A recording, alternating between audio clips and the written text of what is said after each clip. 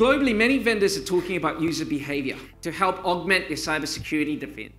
It's kind of trendy to be talking about that right now. But this can either mean, like I mentioned earlier, your users to help police uh, suspicious activities or using technology to detect changes in behavior of that users looking for either indicators of compromise or insider threat. So um, my first questions to Classy, actually, um, you know, when I went to LA, uh, your CTO mentioned that you were the first to come up with the concept of human-centric behavior. So please describe to me how your organization used human factor to help with cybersecurity. Okay, so I think first of all we need to look at um, you know most cybersecurity organizations are still um, focused on securing the IT infrastructure, and reality is that um, you know when you think of of an attack uh, and when you become aware of that attack, they're already on the inside, and whether that's been done by a disgruntled uh, employee or an external attacker that um, you know have uh, that are using uh, stolen credentials or compromised credentials um, to actually you know, execute on, on that attack. Now, if you think about it, to the IT department, that is an authorized user, right? So from a Forcepoint perspective, um, we uh, look at the threat by examining the two constants in every organization, which is first of all people and data. So the Forcepoint human-centric cybersecurity approach is about looking at the human behavior and looking at the behavior of those humans and um, identi digital identities in a way to protect critical data inside an organization. Fantastic. Awesome. Um, and David, from a Cofense perspective, uh, can you tell us more? Yeah, sure. Um, and I think Cofense has focused on the human since the company was founded in 2011. Um, and specifically, we're helping organizations harness their users as a vital extra layer of defense against phishing attacks. Um, after all, it, you know, once that attack's evaded the perimeter and it's reached the inbox, the only way you're going to get reliable visibility of that attack to, to, be able to do something about it is if a user is going to say that they've received it. Um, and when Mark Knowles in his presentation was talking about um, users who are good with phishing, he wasn't just meaning users that don't click. He was also meaning users that report.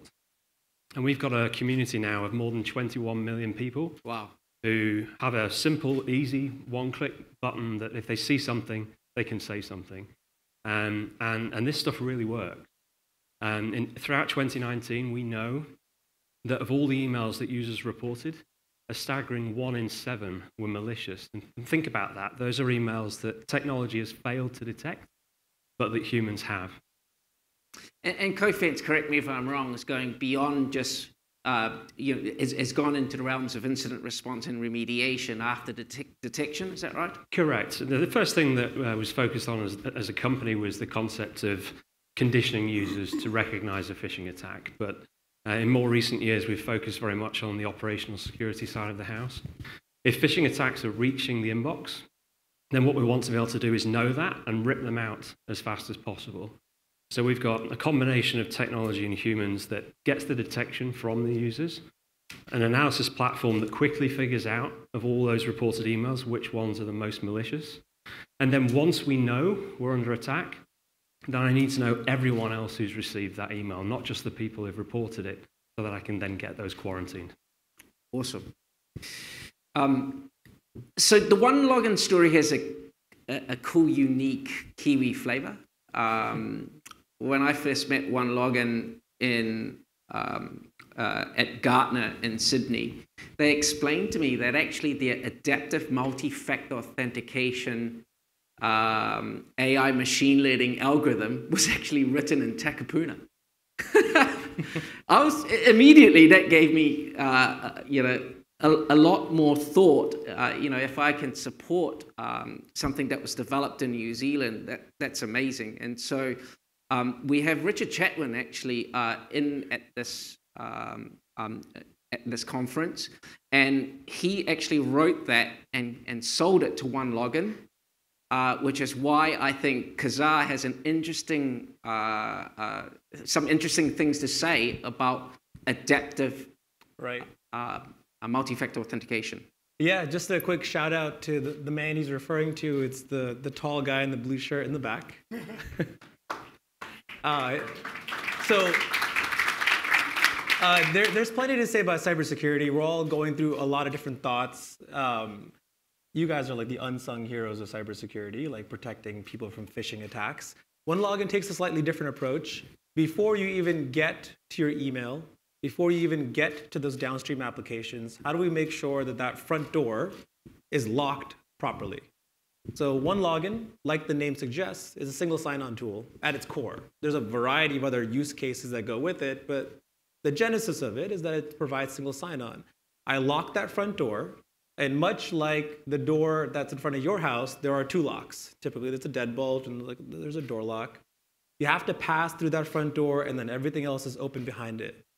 The thing is that you have to make sure that that door is intelligent. So there are elements of AI and different types of ways to give you actionable insight. Uh, insight.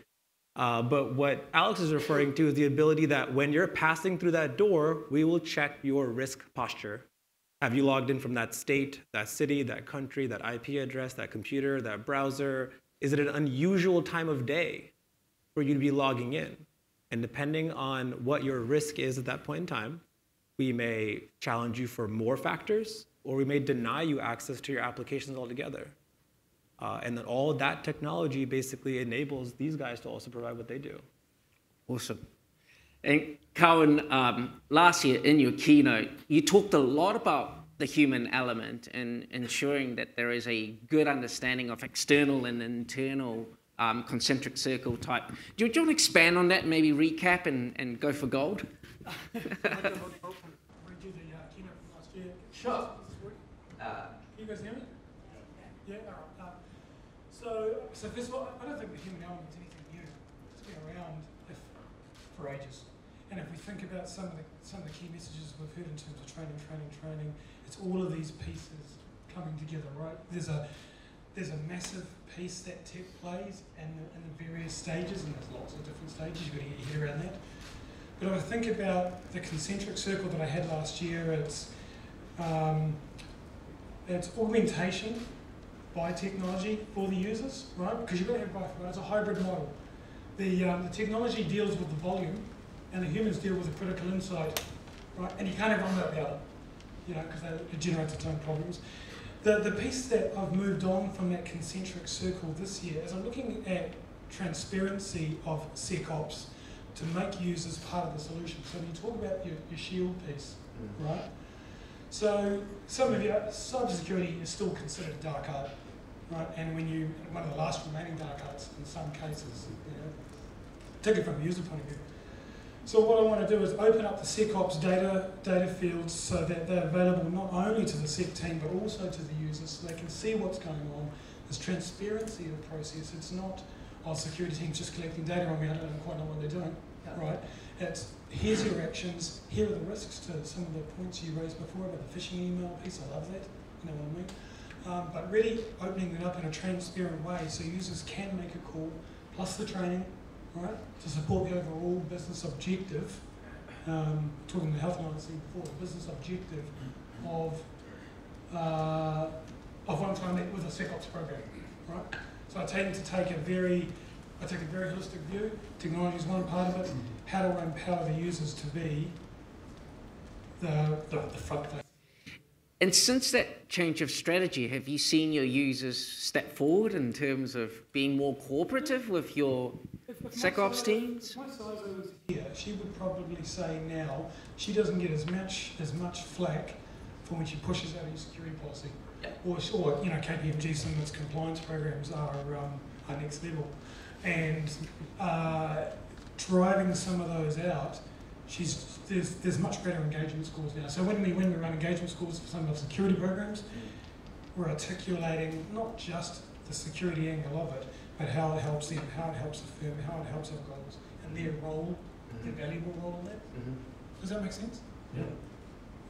Before I move on, does anybody else want to augment or say anything on that particular Questions? Any questions from the audience, actually? Cool. So, um, in our opinion, in 2019, uh, I believe we saw an overuse of uh, the word AI and machine learning. It seems all of a sudden, overnight, every vendor had an AI machine learning concept, technology, and they just turned it on. Um, truly, when I uh, I take a lot of vendor calls asking me to distribute their products, and a lot of the time, the first thing they go is AI machine learning, and I'm like, tell me a little bit more about it. And actually, you know, one, at one stage, someone was trying to pitch contextual uh, um, um, con contextual analysis as machine learning. That's something that was used as a spam filter in 2005, right? Now, um, describe your thoughts on how actually AI is, and, and, machine learning is not the only, it isn't the solution to everything, but it needs augmentation from the human element. You, do you know what I mean? You, we talked about automation. I, I, really wanted to jump into that other panel, but I, I, you know, we talked about automation in that panel, and there was a gentleman that said, "Well, you can't automate everything." Well, actually, automation only works when you have a human person checking some of those automations before it's actually, you know, are you really going to block that user remove that executive from Active Directory because he's showing some weird indications of compromise? No, you want a human person to check whether actually he's traveling and he's VPNing back to Australia or something like that. So I'd like to open this question up to David to start off with, if okay. that's okay. Yeah. Yeah, I think um, technology has a, a, significant place in all of this, and I agree with Karen. It's about that's dealing with the the volume of of, of, of the bulk of the work, but the, the critical decisions it needs to be left with with a human. I think. Um, again, to go back to phishing, but it's a, it's a very human problem. It's originating from humans, it's targeting humans. Um, and for all of the good that um, new technologies can bring, the one thing that machine learning or AI will continue to struggle with is context. Totally right. Uh, and you know, humans uh, are born with an intuition, a gut feel. Uh, mm. We should trust it. Mm. Um, for anyone interested in reading this story, um, read the story about a, a Kouros statue acquired by the Getty Museum in 1985. Uh, the curator there was desperate to get his hands on one. There were only about 10 known to the world. Um, but because the asking price was $10 million, he asked for a long term loan before he committed the money. And he threw every bit of technological evaluation of that statue that was, that was available at the time. And when eventually satisfied, he bought it. But an arts expert visited uh, just a few weeks later and he said, You haven't actually bought this yet, have you? Because his instant repulsion that he had towards it was that it was a fake. And when they looked back at the paperwork and they looked in more detail, there were zip codes referred to in 1955 that didn't exist till 1963. there were bank accounts on letters relating to the repair of the statue yep. from 65 that um, wasn't an account that was opened un- until 73. So if you're ever in Los Angeles and you go to that Getty Museum, you'll, you'll see it, and it's got a sign saying fake or not. Um, thank you, Dave. It's really good. Uh, Classy, you, you know, Forcepoint's been using AI machine learning for a little while, but you have augmented with your user behavioral um, philosophy um, on many different fronts. Could you care to expand? Yeah, I mean, uh, there is definitely a push towards analytics uh, with data learning in uh, the cybersecurity space. Um, but what it does is it, it's helping enterprises to understand the user behavior um, and also understanding the, the engagement with the data, you know, the, the data patterns. So if you think about it, um, you know, using uh, user analytics, you can establish a baseline for what would be deemed as a normal use for a user and the way they behave. And as soon as there's a deviation from that, it would flag the risk that this is potentially a risky, mm-hmm. a risky user. Mm-hmm. So if you think about it, cyber criminals, um, their aim is to, to target corporate data, right? And it'll be a lot harder for them to do that undetected if an organization were able to baseline the user behavior and the interactions with the data. So you bring into that the machine learning with the automation, you can actually a lot quicker prevent and detect um, you know, some of these threats that, that, are out there. So I think it's, it's playing a big role, and you combine you know, all the analytics um, with, the, with the user behavior and, and, and the data and what's happening with the data. And as soon as you see the changes in that behavior, it gives you the opportunity to immediately you know, make some changes to your security policies, policies based on that user's um, level and role. Cool. Cool. Colin, anything to share? Yeah, that's a, that's a journey, right? Yep. Because I think of some of the POC, well, first of all, I think of, and no disrespect to the vendors, right? But if I believed every one of them, uh, they would solve all my problems by next Friday, right? Um, yeah, yeah, yeah, yeah, Thursday, Thursday, sorry, Thursday. So, no disrespect, guys. I get you a quote. Yeah, yeah, yeah. um, look, so the, so the first thing I, I would, you know, it, it is an absolute tsunami of the number of um, applications and solutions and that, that use AI and powered by machine learning and whatnot out there. Uh, so my first commentary would be having a really quick uh, POC process where you can map some of these things out, right, and and and and, and step through that really quickly. We've we've had to get to that, otherwise we'd spend years just evaluating stuff. So we've we've worked that through. So I just want to comment on that because there was a comment before, right, around you know TRIPOC, right. So we've done quite a bit of that. Uh, the other interesting thing we found as we were onboarding these tools, and we spoke about fatigue before, you know, so it generated an enormous amount of, uh, let's call it insight. You know, we had to work through a program of filtering that down and refining. We're still not there yet. Mm. So it's one thing to onboard all these tools and really bring them about. Man, you better have a plan for the next piece after that, which yep. is using it. Using it, right? In a meaningful way. In a meaningful bu- way. Budget, budgeting to have the staff to use it, right? Yeah, right. Actionable intelligence is Yep. the piece or moihut, really, really what you want, Yep. right? Um, and and that's a journey. So my, my, only, my only commentary on that would be um, be realistic about your timeframes and bringing these things on and what's actually required in the entire life cycle to get to actionable intel at the end. There's no instant magic cure, is there? There is no silver bullet. You don't put something in and everything is fixed. It needs to have a plan, long-term plan at that. And Look, just as a comment before, I mean, we did, we we are surfacing up our user analytics now, right? Because that's part of informing people. Oh, hey, we've detected this behaviour, right? What do you think? They we get a copy of it. They get a copy of it. Um, are we arming people with the knowledge to, you know, um, have a crack at the system? Um, yeah, maybe, right? But we're sitting on the positive side. If we're talking about the positives of, of cybersecurity, we feel it's actually closer to bring them into the tent right? And have a have a joined up conversation, have a collaborative conversation around how it works. But it takes time. Yeah, time and budget. Is that? Yeah, I'll, I'll, I'll add a little bit more to what you were saying. So, OneLogin is a Silicon Valley company. I actually uh, flew here from San Francisco. Uh, when you're in that environment, your marketing teams behave similarly to other companies in that region. Uh, and there's certain types of marketing that gets put into place, like there's fear-based marketing, which a lot of cybersecurity companies use. Like if you go to their website, it's all black and it makes you feel scared about what's happening in the world. And sometimes that works. OneLogin and many of our like industry leaders, they take the approach of using things like AI and ML. I actually just told you maybe five minutes ago about an AI-like technology. The thing is that um, in the field, like my team and I, we don't call it AI. We don't call it ML. We actually call it like risk profiling. Actually, you were saying automation. I like that term better because the AI is only as smart as you can make it to be.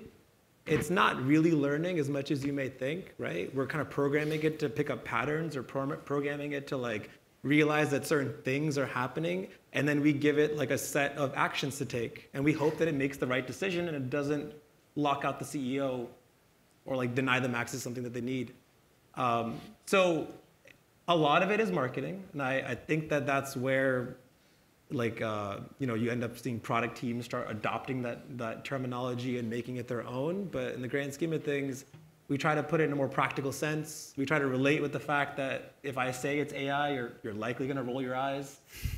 Um, Yeah, I, I, I know know? now because of the you know like the use of it. Yeah. Uh, but it, it's just a combination of technologies and a way to automate decision making. And it's not to automate all the decisions, but at least 70 to 80% of them, which are probably easy decisions to make that human elements don't need to be in that room making them. Yeah. Anything else to add and questions to ask?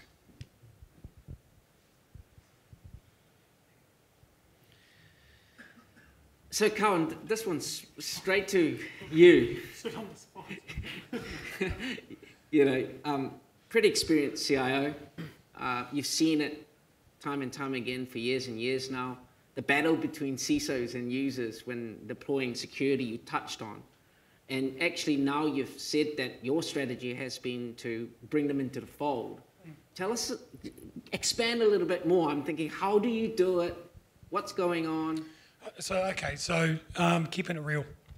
I, was, I, was, I was down in Wellington yesterday with my CISO, and she was punching up her new security internet, intranet page, right?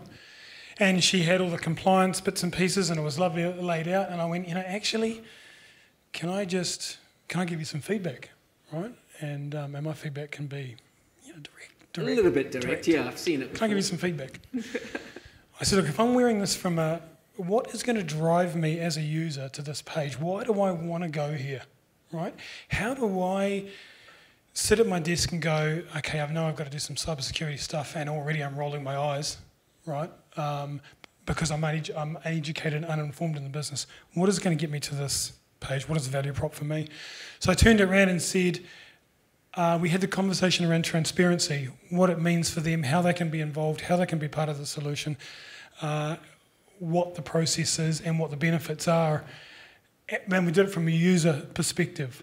So the first part in my overall strategy, and I'm calling it, let's just call it transparency for want of a better word, mm. right, or engagement, is that the education piece first, from a, it's all people based. I'm not talking about tech. You know, it's a, your point before, not talking about technology. I'm not talking about the tech. I'm talking about how is this good for them? What is their role in it? How do they provide value? How do they come on board and come in the tent? Yeah. So our first piece is education for the business to kind of really establish that value prop. And how have you uh, done that in the past, or how are you currently communicating? Because you know, KPMG is a large organization. Yeah, look, you get them all in lunchtime and you tell them you love oh, them? Oh no, yeah, yeah, no, we no, it's fair to say we have we're running internally at the moment a focused adoption. So, funnily enough, with with IT, adoption is one of your number one problems, right? User uh, adoption. User adoption. It's a it's a if you know if you never stop to realise the benefits of the technology, you never realise the benefits and people just default back to what's best for them to the point that um, was made earlier around changing user behaviour.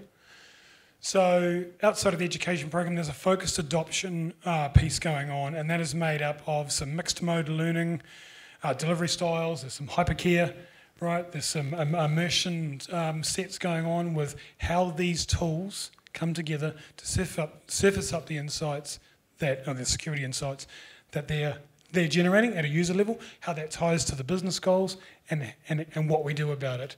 So it's a total project. Mm to kind of bring it all together. Yeah. Um, to be fair, that is a, that, that journey I've just described. That's a work in progress, right? That's going to take some time to bring to bring through. Is there ever an end to it? Eh, probably not, right? In terms of you know the changing pace and and what's going on in the world and um, the different styles of attacks. But I think it's more important that we start now because you have to start. To Simon's point before, you've got to put a stake in the ground. And I've personally found that really hard. Uh, with all the choices out there, we, you know, you've got to put a stake in the ground and get going. So we, we're working through that now, and this program is to kind of bring that all together. But it's very people-based, very people process before you get to the tech. Awesome. Um, and because uh, from a user provisioning perspective, obviously you've got to make sure that it's easy for the users to accept the fact security is going to give them one extra step to get them what they want. Do you want to explain a little bit more about that? Yeah, yeah. So there was like a like a quote that I actually recently read, and it was, if you got um, if you swing the pendulum too hard and you like start enforcing really hardcore security on your users, they're just going to reject it. And users are very, very smart. They'll just find ways around it. Uh, it's better to have like some sort of medium or level of security that 90% of your users will adopt. And we talk a lot about, again, not to make it about OneLogin, but we try to talk a lot about how do we find ways to secure users in a silent and discreet manner. AI is actually a good example of that because it's like in the background, like doing its thing, like making sure things are happening as they should be happening. But uh, we talk a lot about ways where if, let's say, you were to leave an organization, what's the number one thing that typically gets left behind? like the lingering access to apps. It could be something like content management, like a box or a Dropbox or a SharePoint. It could be email. There's two aspects to that. One is that there's lingering access to some app that you shouldn't have because you left the organization, but also you're actually paying for that license cost as well. That's costing you money to have that lingering access on top of the, the threat vector that comes with it. So, like Alex was saying, we talk about you talk a lot about not only providing access to applications, but also how do we make sure that if you leave, it's revoked and it's you're offboarded. And on top of that, like how do we make sure that we have an audit trail to show that when that happened, did it happen on time? Um, there's multiple aspects of user provisioning. That's kind of like the easiest thing to tackle first. We talk a lot about things like security is great, you're going to grow into it, or you're going to put a stake in the ground. What's the phase one? What are you starting with? And there are some easy ways to start introducing security that's silent and discreet and in the background, and it likely won't piss off your users. It's going to be something that's going to be a bit more easy to, to, to stomach. And, and Classy, uh, Forcepoint has an interesting play around privacy um, and users and data. Uh, do you want to explain a little bit more about that? Um, look, first of all, I just want to add to this. I think it's, it's, it's very important to get that balance right. And, you know, the approach we take is about stopping the bad and freeing the good. Um, you know, in every organization, most people mean well. They, they, they're doing the right thing, they're trying to do the right thing. And um, when they are trying to do something legit and they're getting stopped, you know, that's yep. when you end up with frustrated users. Yep. They, uh, you, you, lose productivity. They're going to try and bypass the, the company policies, and you know it, it's not the right outcome. And it brings me back to the behavior piece. You know, if, if you put that emphasis in looking at monitoring that behavior, using the behavior piece with the analytics, and, and you can monitor that, and when you see that change, you know, you can make the, the adapt that on the fly. I think that's very powerful because it's not stopping the, the right people from, from doing the right thing. It's actually going to stop somebody that's trying to do the wrong thing that they're not normally doing um, with the data that they in a way that they normally you know engage with that data. Mm-hmm. Um, but yeah, yeah, back to your point, you know, uh, I just wanted to get that across. So, yep, all um, good. We got time. I mean, privacy is, is very important, and you always have to, to deal with that um, in, in, the right way. So for us, it's, it's a key thing to make sure that that is, you know, that is kept intact and that is supported and protected, you know, along the journey. It doesn't matter what you deploy and how you deploy it. You need to make sure that, that those standards are there and that that's achieved. Can I grab it? I just, you know, so we, I spent since the keynote from last year, and we spent yep. years, we spent the year doing the silent, you know, under the radar yeah. type scenario, right? And you're right, users are smart. So the very next question that came back to us uh, once we'd started doing that was, what are you doing with my data? Yeah. Internally, you know, staff recognise that SecOps team is collecting. We have just as much responsibility to be transparent about it. Mm right? Make, make sure we keep it and, and surface it up, which is why now we're including them as part of the as part of the process, right? So I, I you're right. Um, just your, your last point around privacy, but that's the reason that it's it's kicked off our transparency piece. Yep, that's really insightful. That's interesting. mate, I, Real interesting, actually. You know, well, you know, my eight-year-old, my eight-year-old's better on my iPad now in the digital apps than I am. You know, they are just digitally native right mm. from the mm. get-go. Mm. They understand concepts of data movement, data flow, mm. way sooner than we ever did. So you've got to make sure that when you, you drop these solutions in, mm. that you have that transparency of process and you can explain yourself. Because half the battle with the users is, well, that's part of it. Again, bringing them back inside the tent so they know what's going on. Yeah. It's not some black box. Yeah, and I mean, some of this is um, protecting the the good people that are trying to do the wrong thing by accidentally doing the, but are trying to do the right thing by accidentally doing the wrong thing. So sharing that transparency with them, this is not to, to prevent you or to stop you, but it's actually to help you as yeah, well. Totally. Yeah. yeah. I myself ex- experienced situations where if encryption, if something's stopping me from actually doing my day-to-day work, you know, I'm almost instantly thinking, please remove that stuff because it's just not working for me. And so I've had many conversations with um, uh, CISOs or security people trying to um, calm down the, the neurosurgeon um, because he's not able to get what he, you know, and it's time critical for him, you know, um, or, or, the lawyers, for example, they're, you know, they have a tendency, especially if they're business owners, to call up the security team and get all security removed, and they have the power to do so in a business environment, let's face it. Um, and David, do you, do you have, uh, you, you're pretty much last. Uh, you, you got the floor last, and we're, we're red. So um, Well- please share. Yeah, I, I, I speak to a lot of CISOs who are, are struggling to get engagement around broader security and awareness programs. And um, I think at the heart of this, we've got to remember that the user isn't an extension of the endpoint, it's a human being. Um, and I agree with uh, uh, Klaas's point that um, humans in, in, intrinsically want to be helpful. They want to feel empowered and trusted. They don't want to feel tested and mistrusted. Yep. Um, and I think I see a lot of mistakes made by organizations who go down a punitive route. Yep. If, if users feel tested, like they're going to be tricked or caught out, if they're not told in advance of a phishing simulation, for example, that's going to be run, they're going to feel like they're being tested again. Um, what it's about is, is, is saying, look, you know what, this is a problem that IT alone can't fix. And actually, we need you. We need mm. you. So I'm going to tell you in advance, we're going to commence a phishing simulation program. Mm-hmm. It's not to catch you out. I mm. don't, you know, I, I'm not interested in measuring how mm. many of these things you click. I'm interested in measuring how many of these you can detect for me and report. Yep. And I'm not even asking you to make decisions about this stuff. I just want you to go with your gut feeling. If you think it's suspicious, hit a button, and then the, the, the security operations team can get to it and make the decisions about whether action needs to be taken. And the other thing is, you know, reward isn't just about, you know, a, a chocolate fish or uh, giving people a, a card. It can just be simply the, the power of thank you. Yeah. Um, nothing worse uh, as, a, as a user to report something they think suspicious and then hear nothing back. It's like, was anyone even listening to what I said? Yep. Was it looked at? Yeah. Was, let alone was I right or wrong? And that feedback loop not only keeps reporting engagement high, Yep. but all of a sudden they're getting the real feeling. If they get a message back that says, thank you very much, you helped protect the organization from uh, a ransomware or a malware attack today, they're going to feel good about themselves. And I've had the feedback from many CISOs that actually having that kind of reward-based, uh, trust-based program gets them buy-in to broader security and awareness issues. So interesting. Carl? Our 2016 KPMG had a ransomware attack uh, through the a through the accounts payable department. Right, clicked on the link at that stage. We weren't, you know, we didn't we weren't as prepared internally uh, for for this particular link with our, some of our global things. She's still working there. She's still in the same position, right? She, um, I can tell you now, she probably went grey overnight.